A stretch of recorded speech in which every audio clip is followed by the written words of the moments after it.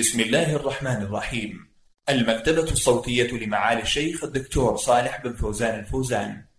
شرح كتاب الملخص الفقهي من الفقه الإسلامي للدكتور صالح بن فوزان الفوزان. الدرس 170 بسم الله الرحمن الرحيم. الحمد لله رب العالمين. والصلاة والسلام على نبينا محمد وعلى آله وصحبه ومن اتبع سنته وتمسك بها. أما بعد أيها المستمعون الكرام. السلام عليكم ورحمة الله وبركاته. ونتحدث إليكم ضمن هذه الحلقة عن أحكام المعتدة الحائض والمعتدة الآيسة من الحيض والمعتدة التي ارتفع حيضها والمعتدة المستحاضة. فأما المطلقة إذا كانت تحيض ولم يكن فيها حمل فإنها تعتد بثلاث حيض. لقوله تعالى والمطلقات يتربصن بأنفسهن ثلاثة قروء ولا يحل لهن أن يكتمن ما خلق الله في أرحامهن. أي والمطلقات ينتظرن بأنفسهن وتمكث إحداهن بعد طلاق زوجها ثلاثة قروء أي ثلاث حيض. ثم بعد ذلك تتزوج إن شاءت. وتفسير الأقراء بالحيض مروي عن عمر وعلي وابن عباس رضي الله عنهم ولأنه ورد تفسير الأقراء بالحيض في لسان الشرع. ففي الحديث أن النبي صلى الله عليه وسلم قال للمستحاضة فإذا أتى قرؤك فلا تصلي ولا بد أن تكون الحيضة كاملة فلا تعتد بحيضة طلقت في أثنائها فالطلاق في أثناء الحيض يقع مع التحريم لكن لا تعتد بتلك الحيضة التي طلقت فيها بل تستقبل ثلاث حيض كاملة بعدها وإن كانت المطلقة أمة اعتدت بحيضتين.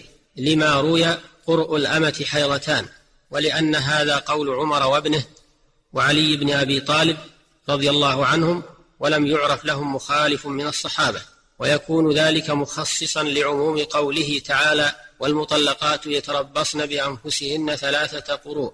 وكان القياس أن تكون عدتها حيضة ونصف حيضة لكن لما كان الحيض لا يتبعض صارت حيضتين. وأما المطلقة الآيسة من الحيض لكبرها والصغيرة التي لم تحض بعد فإنها تعتد بثلاثة أشهر.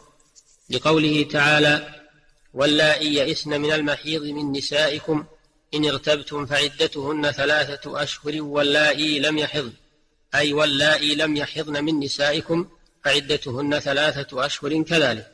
قال الإمام موفق الدين ابن قدامة رحمه الله أجمع أهل العلم على أن عدة الحرة الآيسة والصغيرة التي لم تحض لم تحض ثلاثة أشهر ومن بلغت ولم تحض اعتدت عدة الآيسة ثلاثة أشهر لدخولها في عموم قوله تعالى واللائي لم يحضن وإن كانت المطلقة الآيسة أو الصغيرة أمة فعدتها شهران لقول عمر رضي الله عنه عدة أم الولد حيضتان ولو لم تحض كانت عدتها شهرين.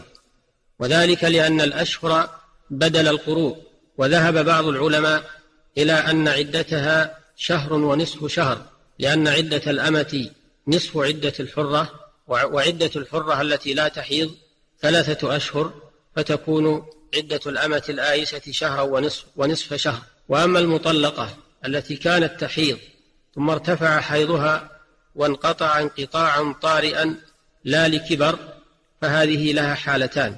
الحالة الأولى أن لا تعلم السبب الذي منع حيضها فهذه عدتها سنة تسعة أشهر للحمل وثلاثة أشهر للعدة أي عدة الآيسة. قال الإمام الشافعي رحمه الله هذا قضاء عمر بين المهاجرين والأنصار لا ينكره منهم منكر علمناه ولأن الغرض من العدة هو العلم ببراءة رحمها من الحمل. فإذا مضت تسعة أشهر وهي غالب مدة الحمل علم براءة رحمها منه فتعتد حينئذ عدة الآيسة ثلاثة أشهر فيكون المجموع اثني عشر شهرا بها يحصل العلم ببراءة رحمها من الحمل والحيض.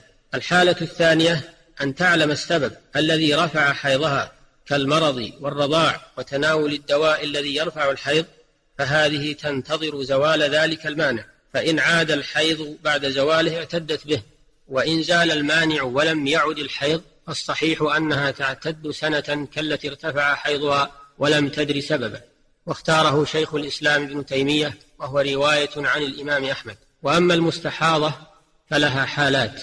الحالة الأولى أن تكون تعرف قدر أيام عادتها قبل الاستحاضة وتعرف وقتها فهذه تنتهي عدتها بمضي المدة التي يحصل لها بها مقدار ثلاث حيض حسب أيام عادتها قبل أن تصاب بالاستحاضة.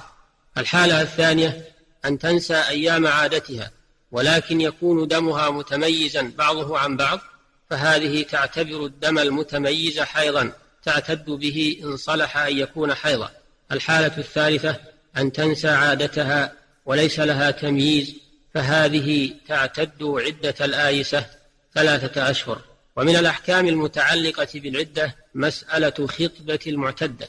فالمعتدة من وفاة والمعتدة البائن بطلاق يحرم التصريح بخطبتها لقوله تعالى ولا جناح عليكم فيما عرضتم به من خطبة النساء أو أكننتم في أنفسكم كأن يقول أريد أن أتزوجك ونحوه وأما التعريض فإنه يجوز لمفهوم الآية. ويباح للرجل أن يخطب من أبانها دون الثلاث ومن طلقها طلاقا رجعيا تصريحا وتعريضا لأنه يباح له أن يتزوج من أبانها دون الثلاث وأن يراجع مطلقته الرجعية ما دامت في عدتها فيجوز له خطبتها في العدة تصريحا وتعريضا. أيها الإخوة المستمعون إلى الحلقة القادمة بإذن الله تعالى. والسلام عليكم ورحمة الله وبركاته. والحمد لله رب العالمين. وبهذا انتهت هذه الحلقة. وصلى الله وسلم على نبينا محمد.